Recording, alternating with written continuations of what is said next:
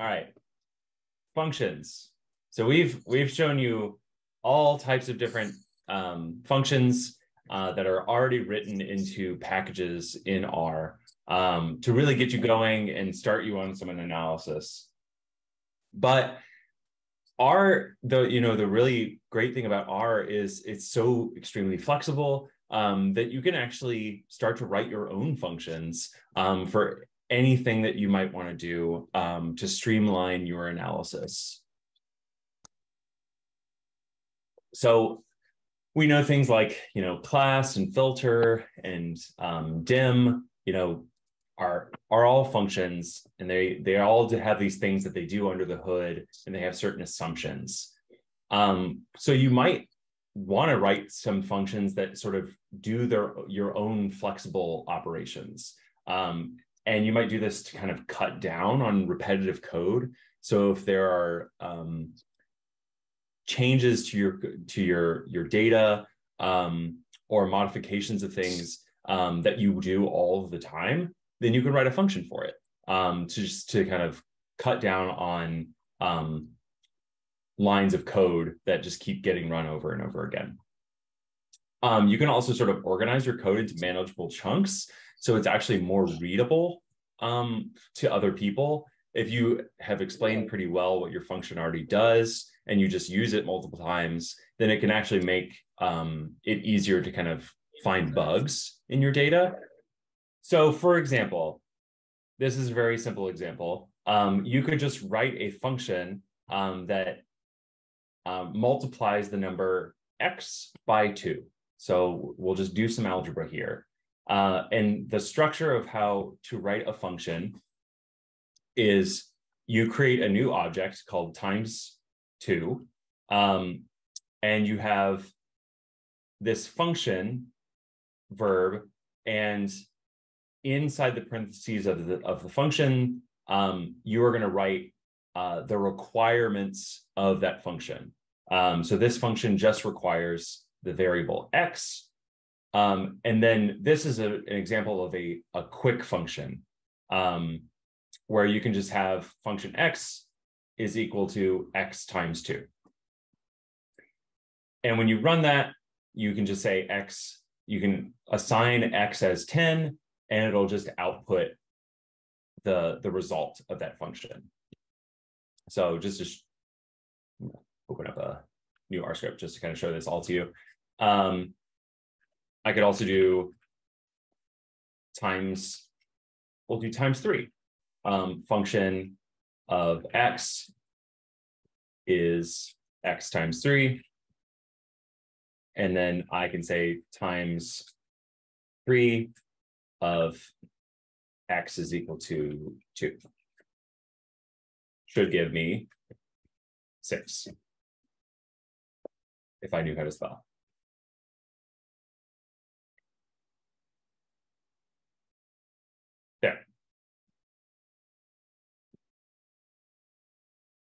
Um, the thing about this is it's not actually, you're not saving this at all. It just is going to print this out into your output.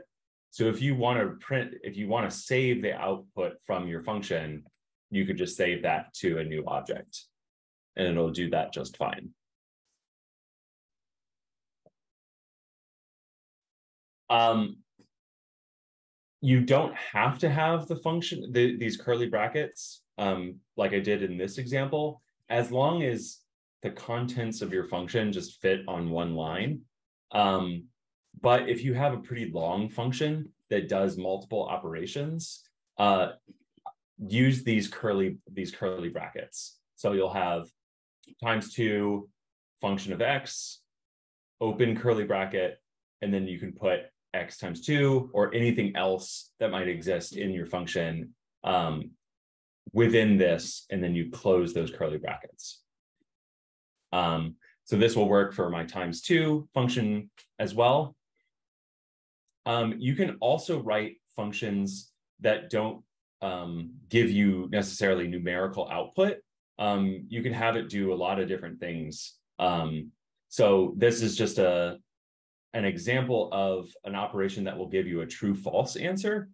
Uh, so say I have a function x and it does this x um, percent percent. So if you remember from very early on, uh, percent percent means um, remainder. So it's going to divide by two, um, and I'm and find what the remainder is after I divide by two. So if I take x and divide by two, and the remainder is equal to zero, that means that the the value is even.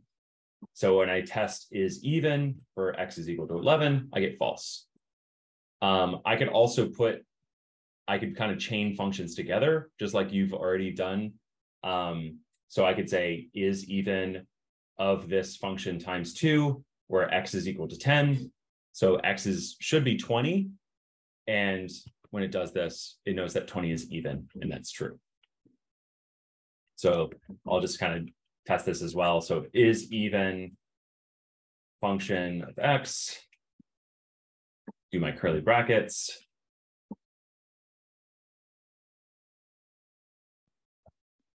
Ten percent two is exactly equal to zero. And then I can do is even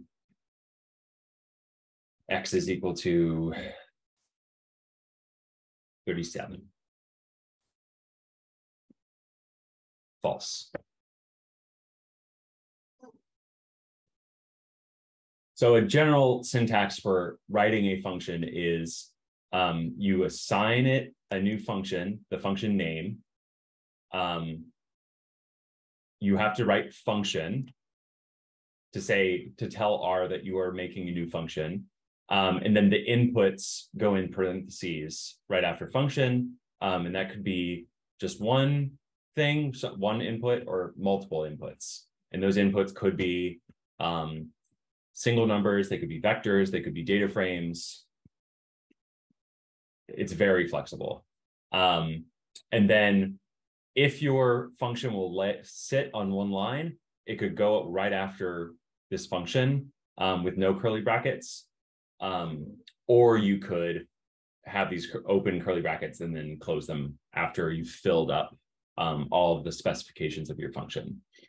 Um, I didn't do anything here to show you about returning. I'll show you examples in a second. Um, these, these examples just sort of return the number after doing some of this math. Um, and that's just an automatic thing. Uh, but if you are doing a lot of operations in your function and you might have some intermediate steps, you might want to save only one output and then have it the function return that value. Um, and so you actually specify that by saying return and then the whatever value within your function um, you want to return. And I'll show an example of that in a minute. So um, let's do this function called times two plus four, where I'm going to take x is my input and we'll do some several like several intermediate steps here. So the first step is to take output intermediate is going to do this x times 2. And then I'm going to take output intermediate, add 4, and return that to output as an object, and then return output. What you will notice, I'll let me, I can just run this really quick, and you'll kind of see something interesting about functions. So this puts it into my environment, right? I have a function that's available in my environment to use. Um, but all of this like output intermediate output, those are those are objects that only exist inside the function and they don't actually get saved until your global environment at all. Um, so if I run this where x is equal to 10, it's just outputting 24 because I told it just to return output. But output intermediate doesn't exist in my environment and neither does output in order for me to save it to my global environment, you still have to assign it to a new object.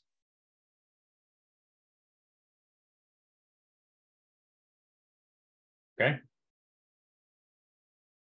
So use this return um, to tell the function exactly what object you want to, to print out to the console or to eventually save into a, one of your global environment. So printed results don't stay around, but they can show you what a function is doing. Um, the return results do stay around. Um, they get printed to your console, um, but you can only return one result. Um, so I can kind of, let me just do something in here to show you um, that it will print multiple results.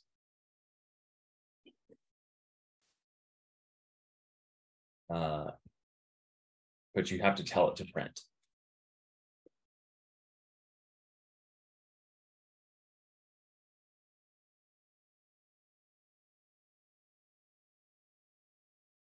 Right, so it's printing output, output again, all right, printing output intermediate, printing output, and then returning output. Um, and if I do this, what do I get? So interestingly, so the function will print each of these things. It'll print 20, it'll print 24, but it's only ever going to return one value for you. that's 24.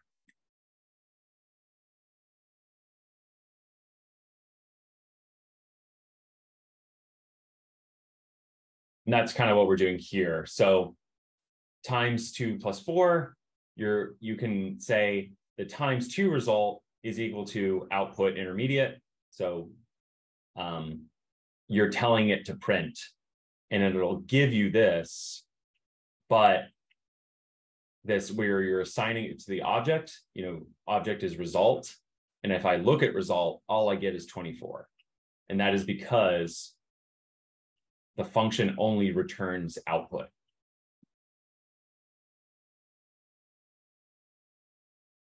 You can. Um, so you can actually string together. Um, I could I could give you an example of that really quick. So um, you could do return C of output int and output.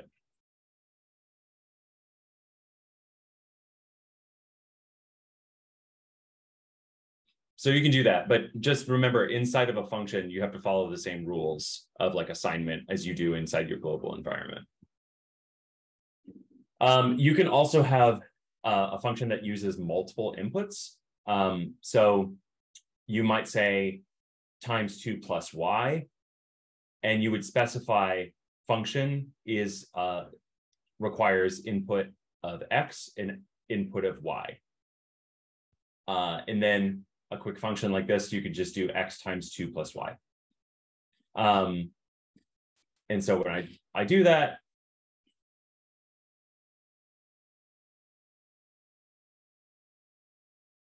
it works great.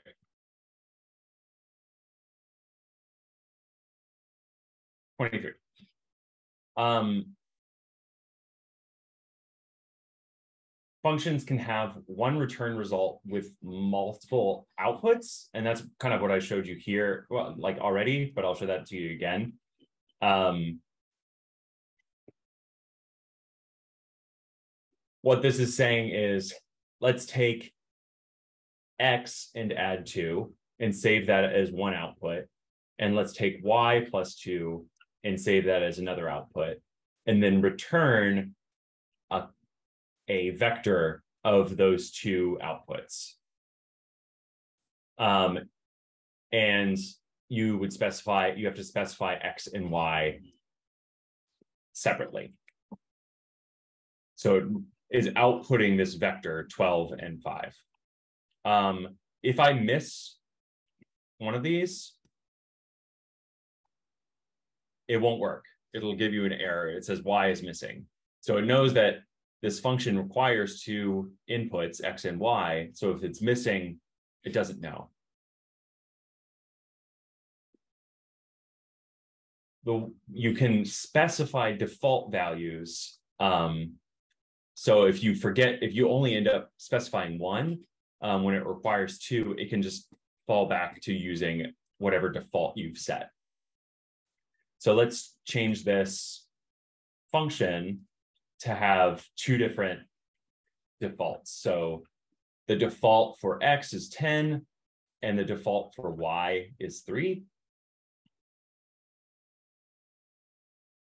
So if I were to only specify, if I don't specify anything after this, it'll still give me the right answer.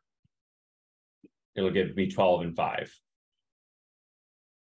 Because 12 plus, you know, 10 plus 2 or 3 plus 2.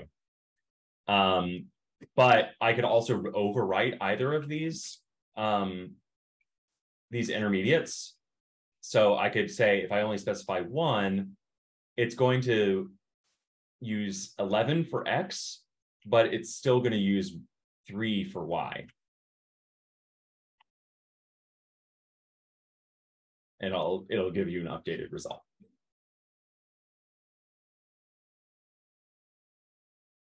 Or you can you can overwrite both of them. So 11 and 4 will give you two different outputs.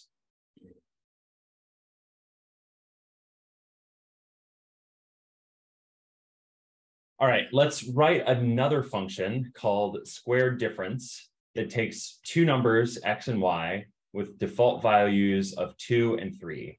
It takes the difference of those two values, then it squares the difference, and then returns the final bat value for you.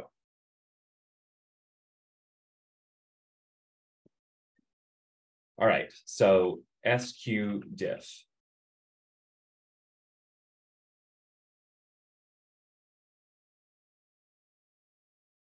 Is a function that takes arguments x and y. And I'm going to open this on a separate line, and we'll do some intermediates here. So uh, int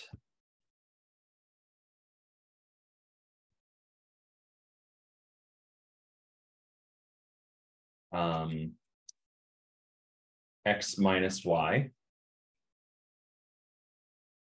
And then intermed square is going to be intermed squared. And then let's return intermed 2. Um, and then this said default values of 2 and 3.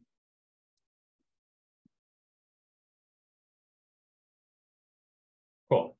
So if I run square difference with nothing in there, I should just get 1, right? Because 2 minus 3 is negative 1, square that is 1. Um, but I could change this to x is equal to 3. Um, and that should give me 0. Or we'll do 10. 49.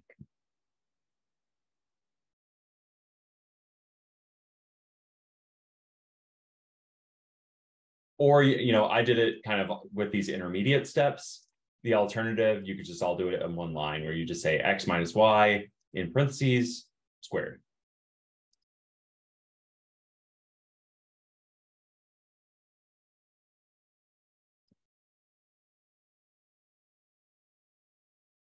Um, you can have any type of output you want in a function.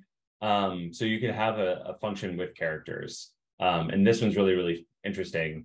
So we're going to make a function called loud um, that takes a word, so some just character string, um, and then it's going to re repeat it five times um, and put it in uppercase. So this toupper will just take a character string and make it all all capitals, and then remember rep will just repeat anything five times, and then we'll return hooray.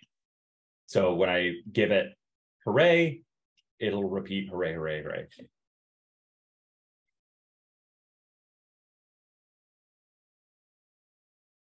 Um, we can also use um, functions on Tibbles, um, as long as we've had we've kind of in your input, it's clear that you're that what's going in is is a data frame or a Tibble. Um, so if we have a function, we can have data and then a particular number row. And what this function will end up doing is take that data, run a, a filter statement on that, and it says, for this, I only want um, these row numbers of my data that exactly match the row number that I'm giving it. Um, so if I have this this cars data set,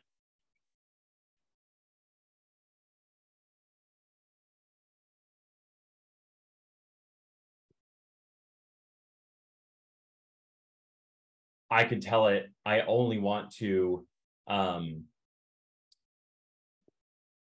I'm going to start with this. This car is one eight. So it's all I'm only working with um, columns one through eight of this cars variable, this cars data frame. And so my function get row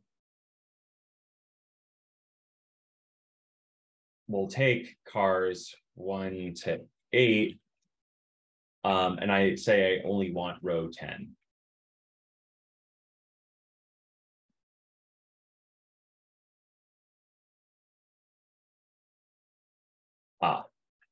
It's because it's stat, not that data. Great. So it's just telling me, it's just outputting the 10th row of this selected data set. Um, I could also do it on a different data set, get row, um, dat is equal to iris, row is equal to four.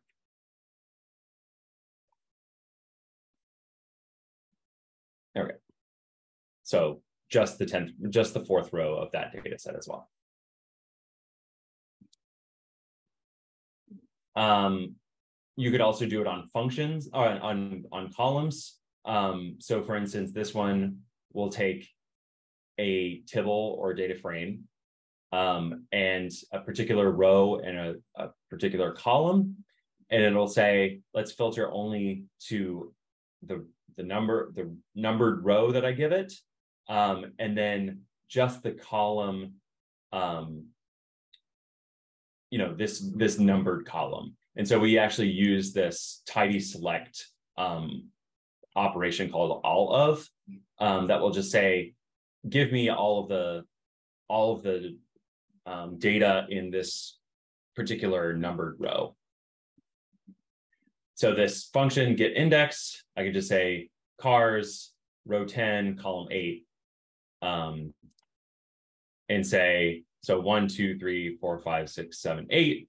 So it's giving me this 10th row, eighth column, and it's outputting that as, as a tibble here. So one by one tibble of this 500.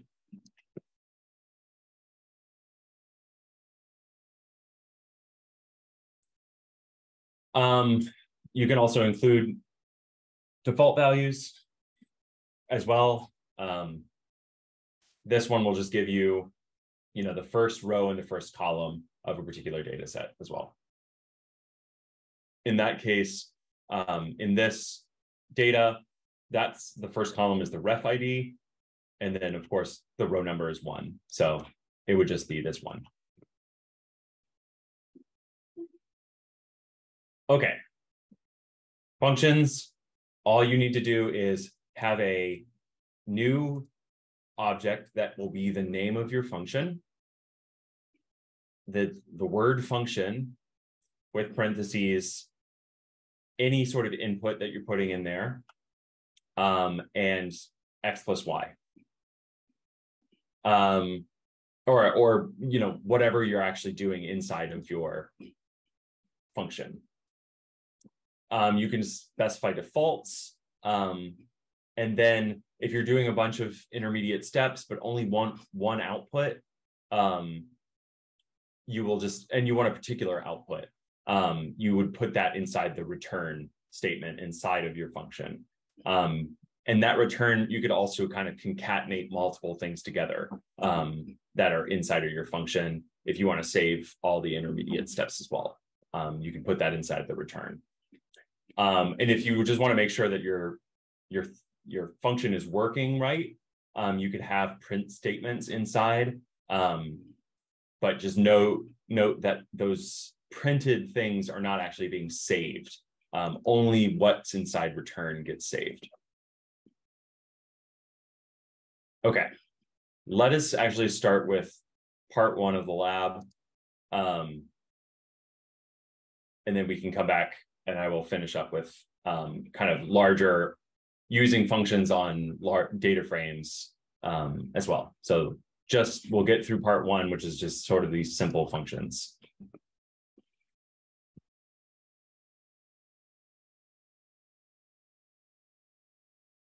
All right, everyone.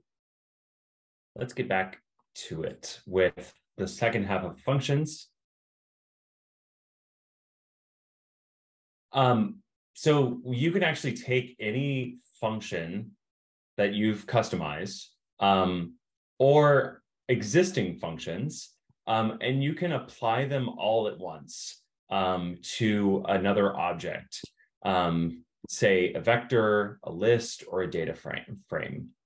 Um, so this there's another function that will allow you to apply your functions um, to other objects called sapply. Um, so the structure of sapply um, includes, you know, the first ob- first input is um, some sort of vector, a list, or a data frame, um, and then some function that you want to run. Um, and that function does not have to be in quotes or backticks or anything. Uh, it doesn't have to include the, you know, the open close parentheses.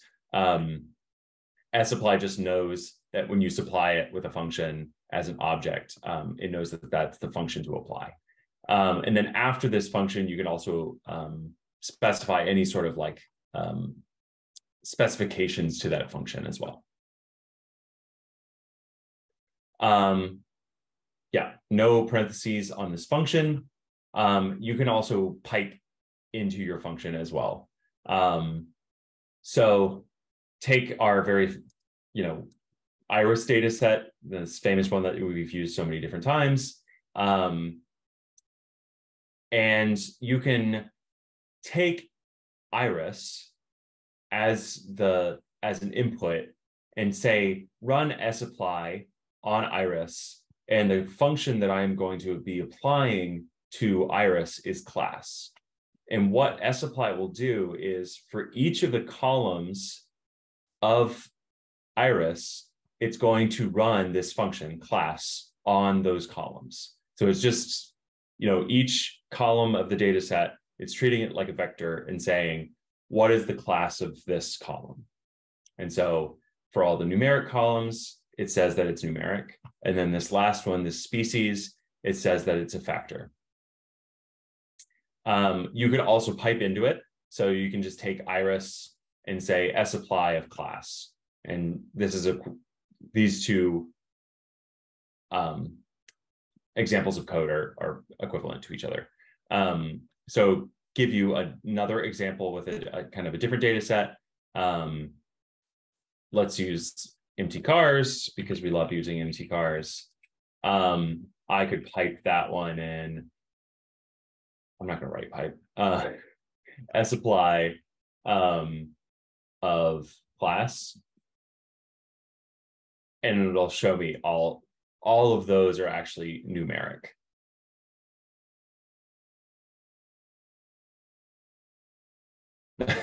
exactly, legendary data sets. Um,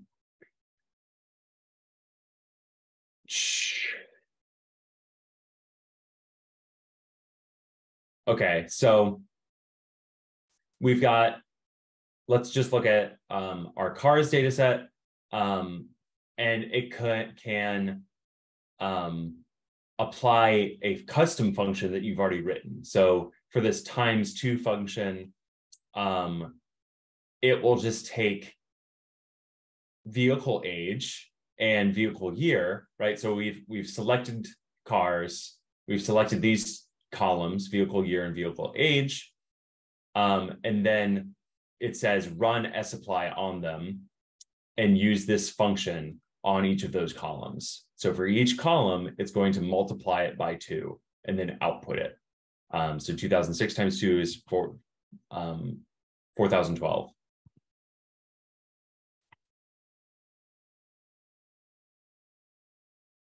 Yeah, those are all like, if there's a contiguous list of columns that you want, you can just use that. But if they are not contiguous, you have to put them in a, like a concatenated list. Like you have to specify them individually. But if you have like one that's over on the left side of your data set, but then like four contiguous ones, you can actually do like, um, you can go like this. So like C, um, column one, uh, column one, and then column five through eight. Right? So you can just do it that way too. Thanks. Yes, or you could use your tidy help, your tidy select functions like contains and starts with. Um, and we'll we'll show a few more like that. Um, you can also, you don't have to do these sapply um, operations on functions that exist already. Um, you can actually just pass it a, a, fun a new function that you um, are making on the fly. Um, so what I'm doing here is saying, okay, for these columns, vehicle year and, and vehicle age, let's actually run this new function that I'm going to write that just takes X and divides it by a thousand. So in that case, vehicle year 2006 turns to 2.006 and vehicle age um, goes from three to 0.003. So what this will do, um, this, if you do it on the fly like this, um, it will not save it to your global environment. That function doesn't exist outside of this sapply statement.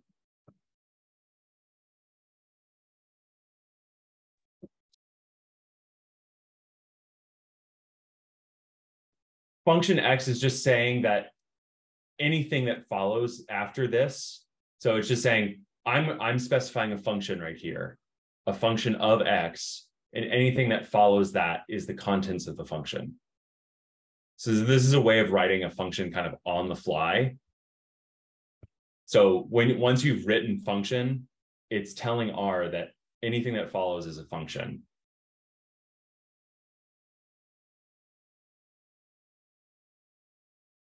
That was why we did it with like this select function here. Um, but if you want to actually apply it to only a single fun a single column, I would use a mutate.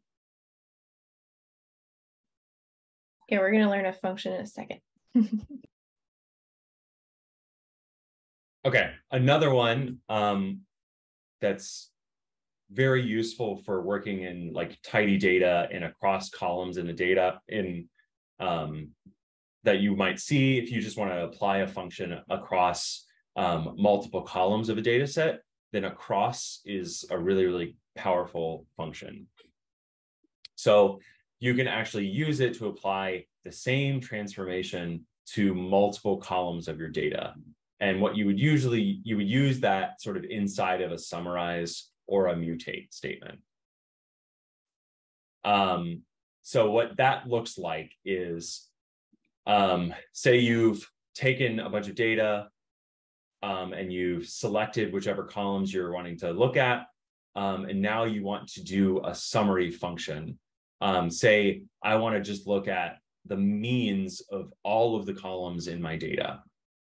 Well, what you would just do is say summarize and then across, uh, and then it requires these two arguments, dot cols um, where you specify the columns that you want to run this on. Um, so this could this could be you know just a list of columns. It could be just like that um, column one column uh, colon column column eight right to get all columns one through eight. um, or you could use sort of one of these tidy select things um, to specify which columns uh, um, fitting of certain criteria to put in there. Um, the second argument is this dot fns or functions, which is the function that you want to run. Um, and then dot dot dot could include any additional arguments for the function.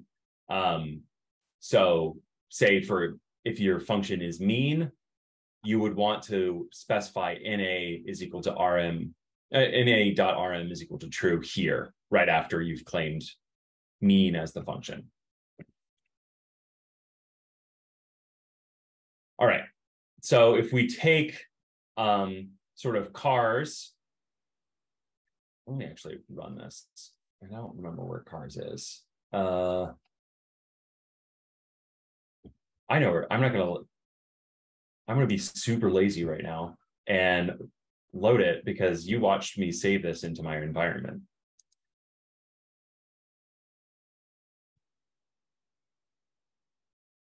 There, there's cars. I don't have to worry about going back to the original data set. Okay, so cars double. So what this is doing is saying cars and select the make of the car, um, or select the make of the car, and then anything else, any other columns uh, that start with VEH. Uh, and we'll just take a look at that really quick.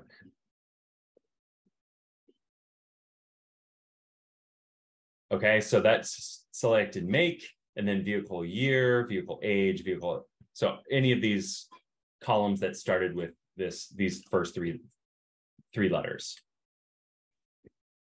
Um, starts with is one of these sort of like tidy select. Um, so if you're interested in any of those, um, I encourage you to kind of look at the, the help for those. So there's a bunch of them that are really useful. Um, wait, it's not there. Um,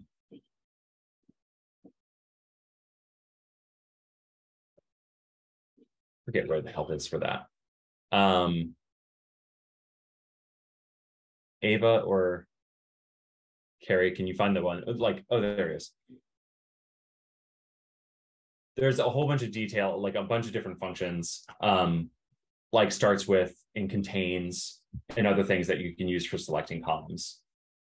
Um, what you're doing here is like cars double and saying, make a summary of that one.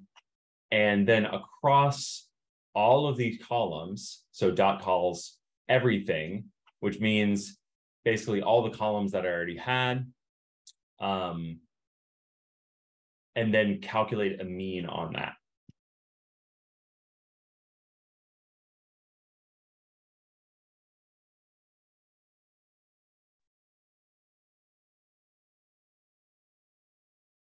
Yeah, so mean already exists. Um, so it will run, it'll run just fine for these numerical columns. So vehicle year, vehicle age, but it, it'll give you an NA for make because it doesn't know how to calculate a mean for a character.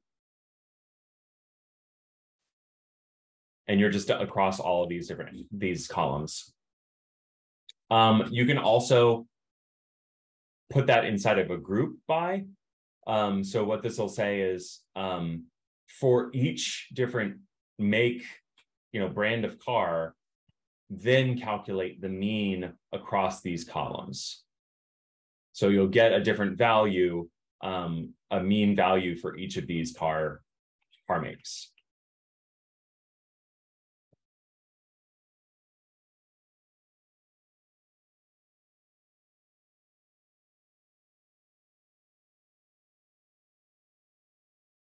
Um,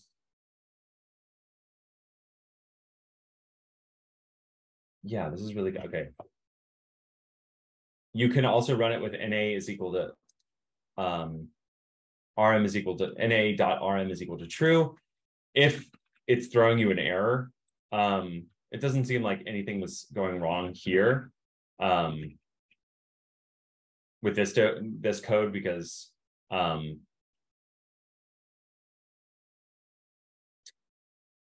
there were not many NAs there.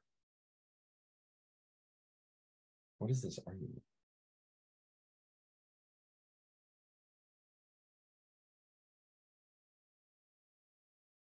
Okay, this is a warning.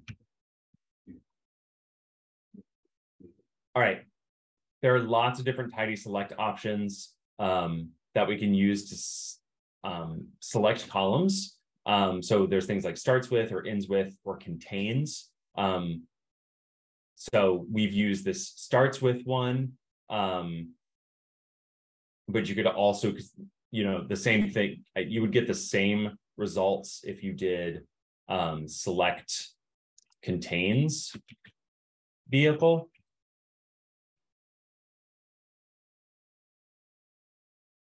Right? Because it also, it doesn't matter. It's just saying that it contains this string of three letters, no matter where, where it shows up um, in the, the string of the column name.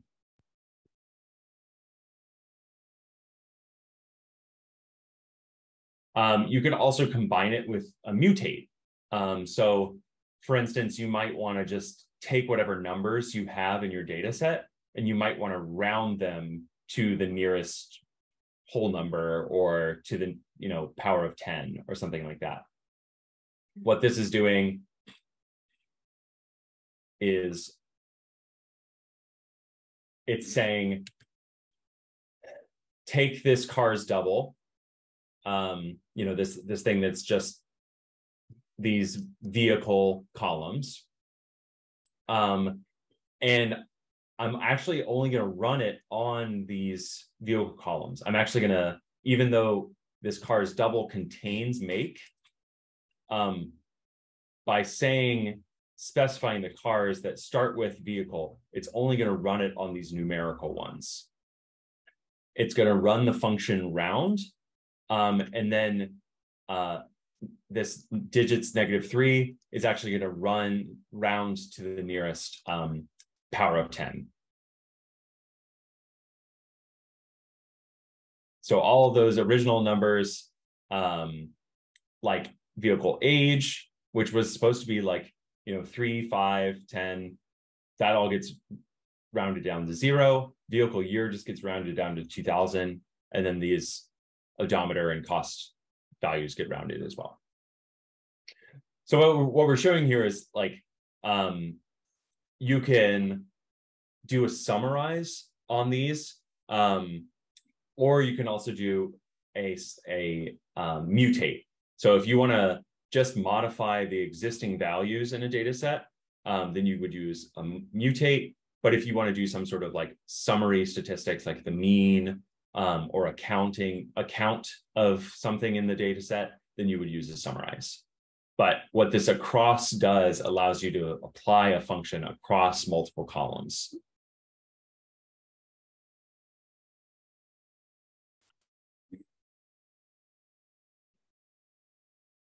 Um, say, for instance, we want to, um, in a set of values that we're working with, we might want to replace um, some of the, the missing values. Um, so I don't know if we've actually covered this function in the class yet, but there's a really function, a really nice dplyr function called um, replace NA. Uh, and what it does is um, in a, if you are working on a data frame, um, you would supply actually the list of values that you would want to replace. Um, or if it's just a vector, um, you and you can just replace a single value. So if I have, for instance, like um, vector one is one, two, three, NA, I could run replace NA on vector one and replace that last thing with a four and it'll work fine. Um,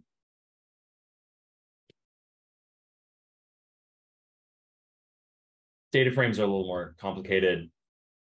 I don't want to get into it yet. Um, but to explain this for um, you could you could run replace in a across multiple columns in a data set with this across function. So we'll run it, read in our mortality data set.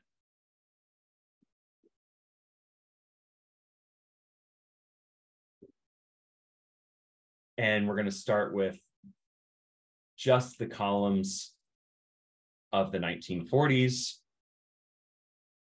by selecting country, um, which we've renamed from that weird dot dot dot one. So we're selecting the country column and then any columns that start with 194, so the 1940s. Um, and then we're applying replace NA is our function that we're applying across these three columns, 43, 44, and 45. Um, and then just within this replace NA, I'm saying replace any NAs with zero. And we'll see that all of the other NAs that existed in the other 1940s that we weren't selecting in here still have the NAs in there, uh, but all the NAs in those three years have been replaced with zeros.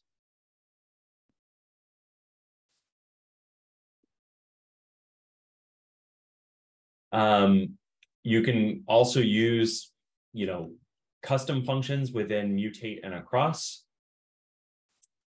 Um, so let's write a function that says multiply x by a thousand.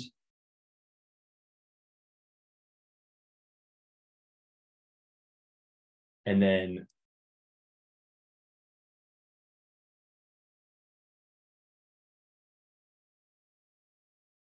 what this will do is say, take air quality, which just is, it's a data set that's, it's a common data set in R.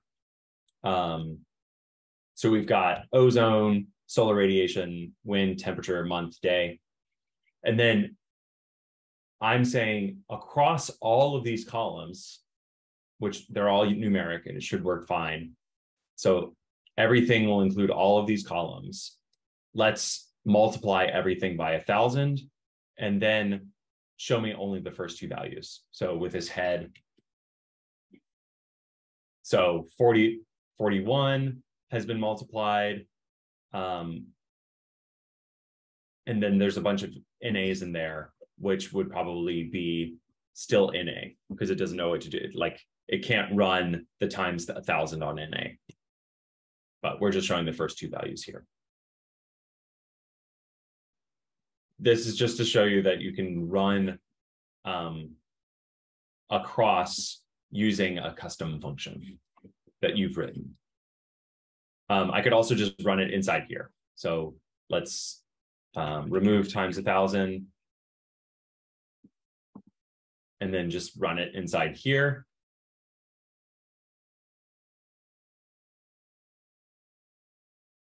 Same output.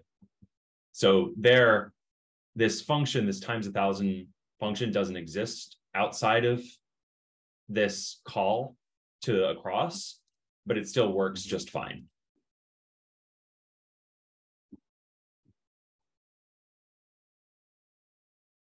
Um, another package that's really useful is the the purrr package. I don't know if if anybody like trills their R's when they say this one. I hope somebody does. Um, but the purrr package is um, one that allows you to apply a function to multiple columns in a data frame or multiple data objects in a list. Um, so say if you have a long list of data frames um, that you're working with and you want to just apply this function across the board, um, you can use this purrr package. Um, and the, the function that's really useful is called map_df.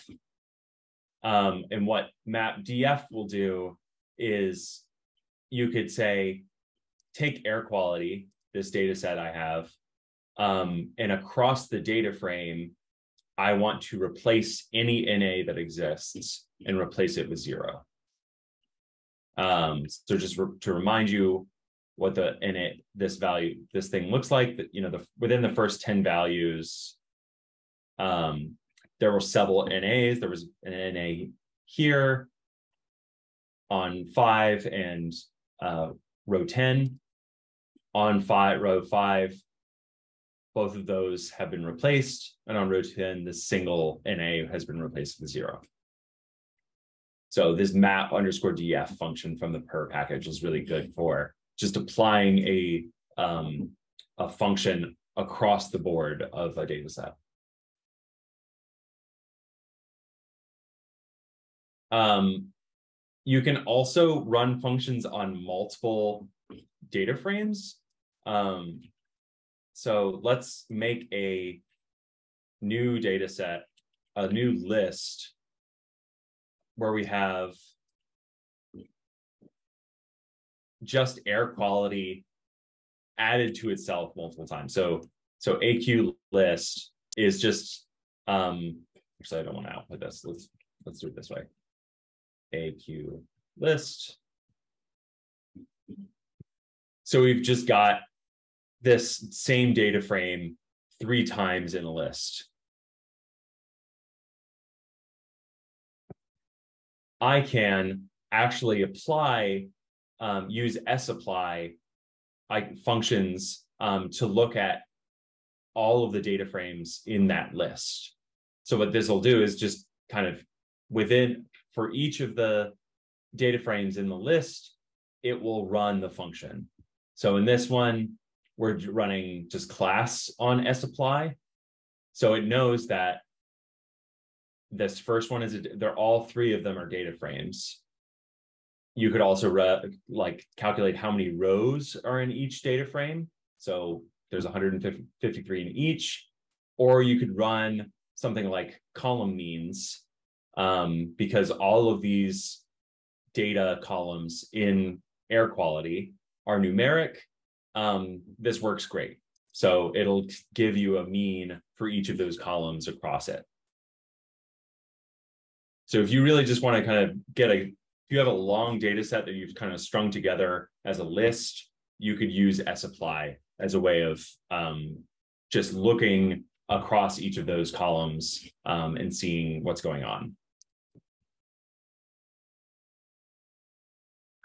Okay, so we've covered sapply, which you can apply to some sort of a vector or a list or a data frame um, and apply some function to it. Um, within a data frame, um, you could sort of do uh, a mutate statement where you can apply a function across columns of a data frame, um, just to, as a as as a modifying operation, or you could summarize something. So if you want to calculate um, the means of three columns in your data set that are right next to each other, then you could just do across um, and put kind of put that together with some of these tidy select functions and say, okay, select these three columns and give me a summary of each of their means.